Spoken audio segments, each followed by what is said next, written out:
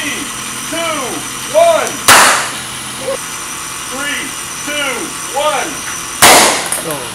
Three, two, one.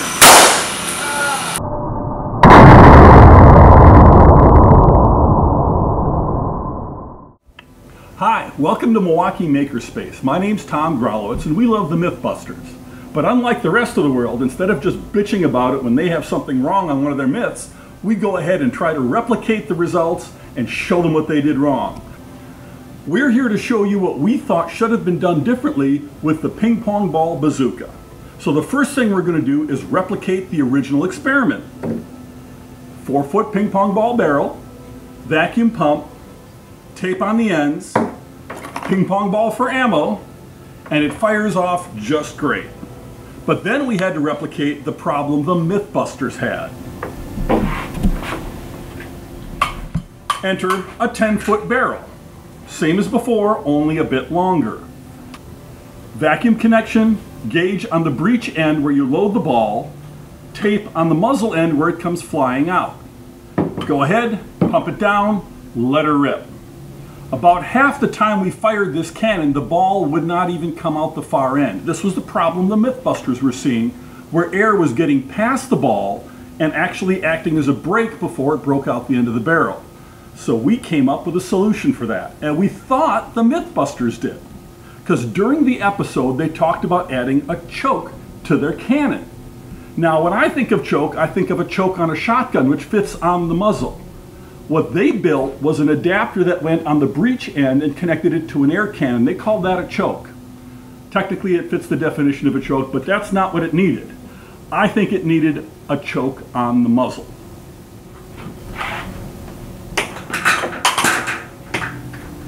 Enter the Milwaukee Makerspace muzzle modification. The hmm. This is what we think they should have done to fix that little problem. So we have to first of all show you what this is. This is the Milwaukee Makerspace muzzle modification. And to do that, we've hired a high-end graphics department, much like Mythbusters does.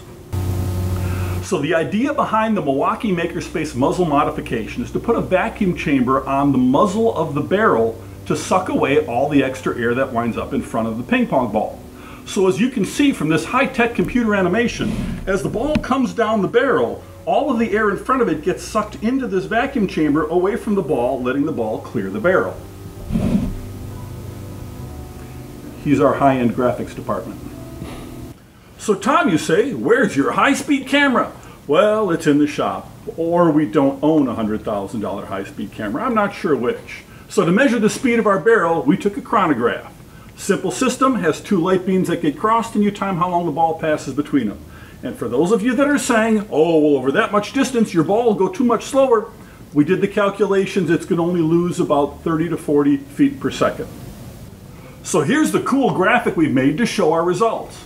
First of all, the four foot barrel, 267 feet per second, that works out to 182 miles an hour. The raw 10 foot barrel came in at, lower, at a lower speed at 239 feet per second and 162 miles an hour. Then the Milwaukee Makerspace muzzle modification came in at a roaring 639 feet per second. That's over 435 miles an hour. So these are the results, and this is why we think the Mythbusters need to revisit this myth.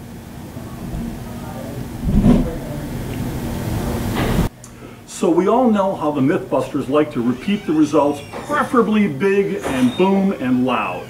Milwaukee Makerspace, we don't do that. We just like to make a left turn. So what we're gonna do is take our 10 foot long Milwaukee Makerspace muzzle modified ping pong ball bazooka and add a silencer. So we're gonna have the only 154 bore, 10 foot long ping pong ball bazooka silenced for sniper use. You think we're full of shit? Come on down to Maker Faire Milwaukee September 27th and 28th. We'll have the bazookas there and we'll be firing them.